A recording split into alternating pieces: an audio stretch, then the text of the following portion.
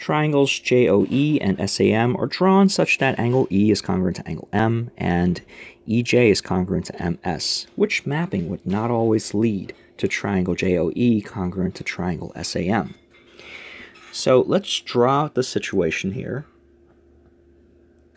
I have triangle JOE and I have triangle SAM. So angle E is congruent to angle M. Side EJ is congruent to side MS. So I have uh, one pair of sides uh, corresponding sides are congruent and one pair of angles corresponding angles being congruent. So let's recall what are the different ways that we can prove triangles congruent. We have SSS, SAS, ASA, AAS, and HL. These are the five different ways that we can prove triangles congruent. The last one there is unique to just right triangles.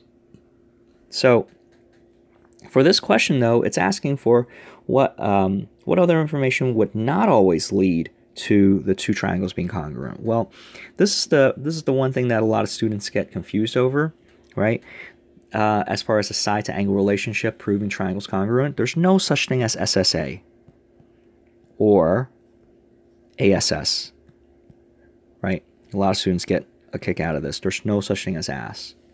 So if you have a angle side side relationship, that does not prove two triangles two triangles congruent. So what would produce this side to angle relationship?